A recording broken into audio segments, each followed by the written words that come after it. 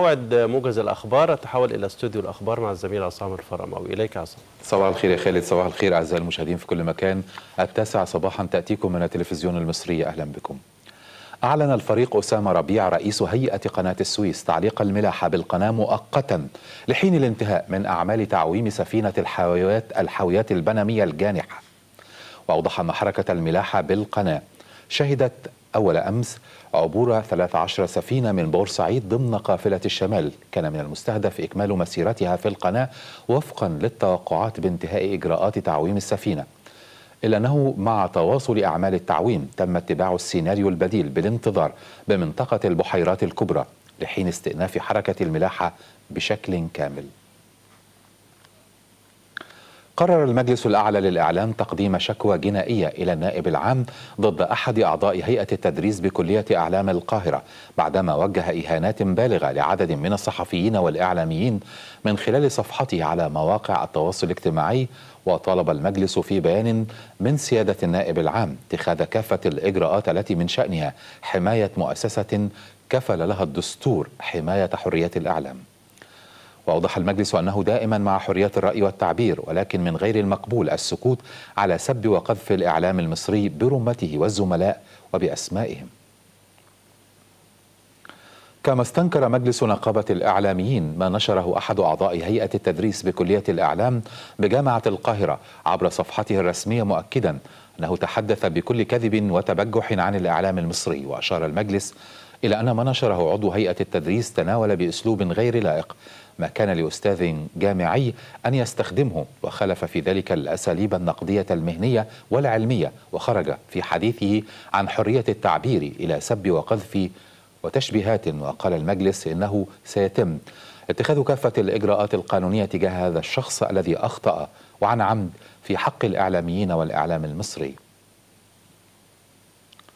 أعلن التحالف العربي اعتراض وتدمير عدة طائرات مسيرة ملغومة أطلقت صوب أهداف بالمملكة العربية السعودية. وأضاف التحالف أن جماعة الحوثي المتحالفة مع إيران حاولت استهداف جامعتي نجران وجازان وأردف أنه دمر طائرة مسيرة ملغومة استهدفت نجران إضافة إلى ست طائرات مسيرة أخرى ملغومة أطلقتها الجماعة صوب المملكة.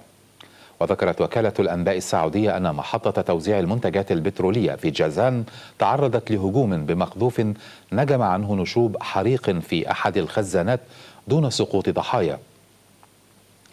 وتأتي هذه الهجمات بعد أيام من طرح الرياض لمبادرة جديدة تتضمن وقفا لإطلاق النار في أنحاء اليمن. أعلنت وزارة الصحة تسجيل 661 إصابة جديدة بفيروس كورونا و48 حالة وفاة كما أعلنت الوزارة خروج 321 متعافيا من الفيروس من المستشفيات وذلك بعد تلقيهم للرعاية الطبية اللازمة وتمام شفائهم وفقا لإرشادات منظمة الصحة العالمية. ليرتفع إجمالي المتعافين من الفيروس إلى 151765 حالة.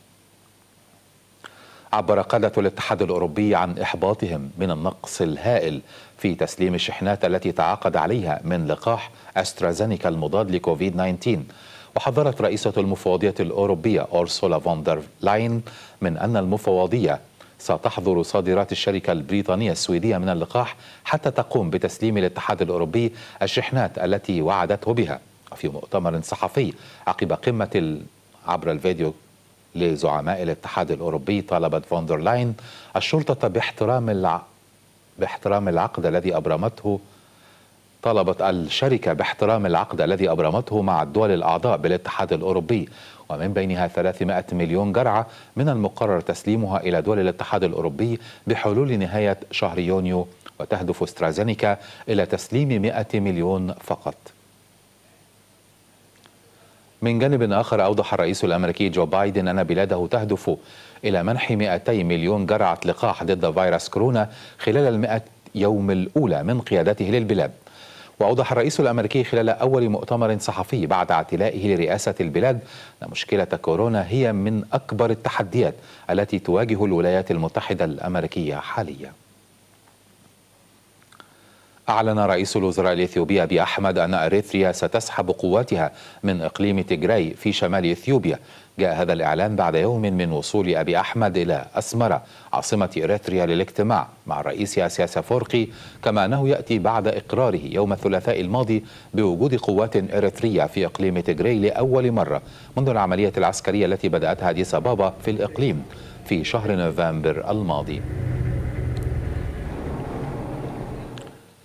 أعزائي المشاهدين إلى هنا ينتهي موجز الأخبار. شكرا لكم وإلى اللقاء.